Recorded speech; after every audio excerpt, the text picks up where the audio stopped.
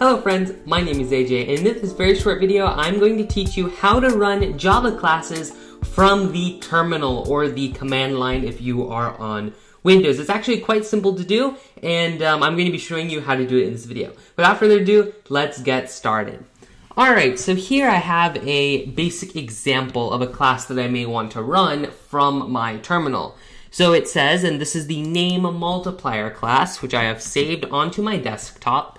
And you can see over here that it has, so it says um, that this will take in two parameters, right? One is going to be a name to repeat, and the other is going to be the number of times that name will repeat. So the example is, if I put in an input of my name Ajay, and then I have 8 over here as the other number, it's going to repeat uh, eight times in the output, right? But let's say I want to do this, but I actually want to call this from my terminal. How will I set it up, right? Because usually in this case, you may do just a simple print statement um, inside of, you know, a main method. So how do we actually do this? Well, we're actually going to type out a main method. So to do it, that would be public static void main, right? And then in parameters, you have string args. That's pretty standard, right? But a lot of times, you may be writing these uh, main, met main method functions, and you may have never actually realized what these arguments are for, right?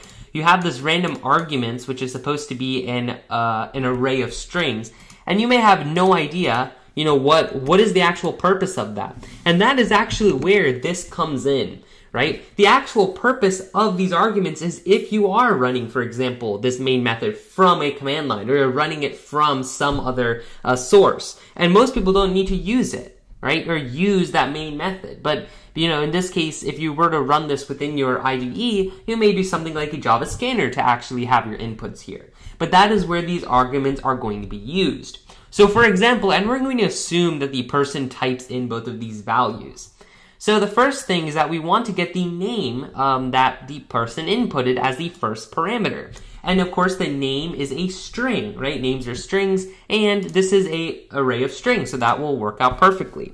So all I have to do is I just have to create a string variable that represents my input value. So this would be my input name, and this is going to be equal to args uh, 0 right over here. And the reason it's equal to this is because we want the first value from the string array. So again, if you don't remember, when you're getting values out of an array, 0 is the first value because um, it works with indexes, right? So when you are having an array, um, the, the specific location of each value inside of an array is based on something called an index.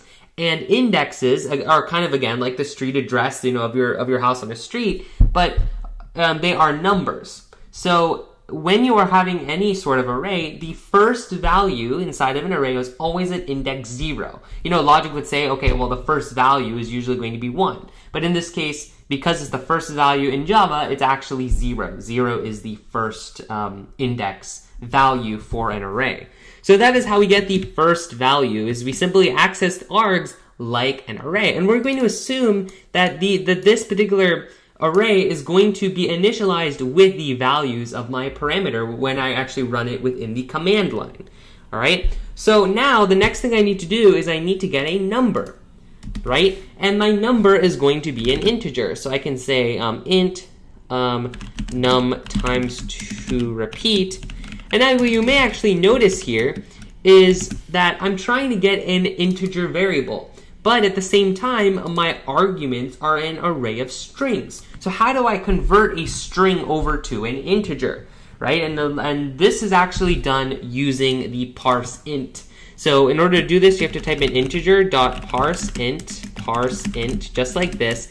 And then your input into this parse int uh, method is going to be args1 because this is going to be the second argument. Remember, kind of the index is always one less than the number it is. So if it's the second argument, it's going to be at index number 1. So I will simply set number of times to repeat to um, integer.parseInt1, and I will now put a semicolon in there. All right. And now the last thing I'm going to do here is I need to actually do what I wanted to do, where it's going to repeat this this many times, right, as my input. So this will just be a simple for loop that I'm going to set up um, with num uh, num times, wait, sorry, i is less than num times 2, repeat. All right, and this will be I, I plus plus right over here. So you can see that I've created my for loop and then simply I will print out and I want to do here system dot out dot uh, print. Man, a lot of spelling mistakes today. So system dot dot print. I don't want to do print line because I want this all to be in one line like this. So I'm going to simply print out the input name just like that. And then I'm also going to do system dot out dot print, and then I'm going to print out a space as well. All right, so that should be actually all of the code here that I need for my, for my actual class. So now what I'm going to do is I'm going to save it. And once I'm saved, I can now open up the terminal, right? So I'm going to go and to open up terminal, and this is very small, so I'm going to make this a little bit bigger so you can actually see what I'm typing. All right, that's a little bit better. And so now if I want to access first my actual uh, Java file, I need to actually navigate to where my file is. And because my file is going to be in my desktop folder, I can simply say cd desktop uh, to go directly into my desktop folder, which you can see right over here. So now all I have to do to access this is I have to simply type in the Java and then name multiplier, which is going to be the name of my file. I You don't need to, you can include .java, but you don't need to. And then I can simply put in my parameters separated by spaces. And you can see over here that there was a, let's see, uh, could not load. So what you do need to do, I think, is you have to kind of um, at least compile this once so that the class is actually um, created, the class file inside of your desktop, which you can see now it actually is. And now let's see if we can run the same thing. If I save this and I go into terminal and I do this again, you can see right over here that it prints out right all of my in my um, output right over here. It prints out my name. You can see it prints out my name eight times. So that is all you have to do to actually run a Java file from the terminal. So again, to recap, and this works with command line as well on Windows. So you can do it using the command prompt as well. But all you have to do is you simply you need to utilize the args um, the args string array that is already built into the main method.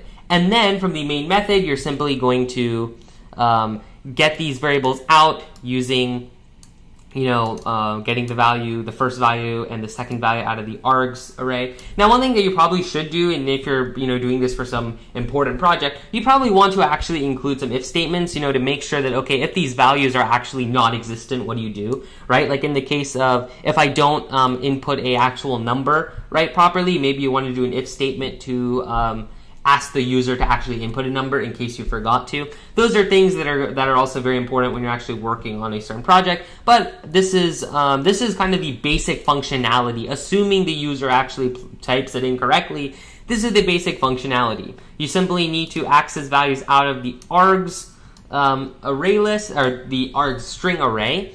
It's not an array list, it's just an array save them to these variables, and then you can use them. And when you do system.out, it will print perfectly fine to the terminal, just like this over here. Alright everyone, if you have any questions, definitely leave them in the comment section below. If you like the video, feel free to like and subscribe for more content. And as always, thanks for watching.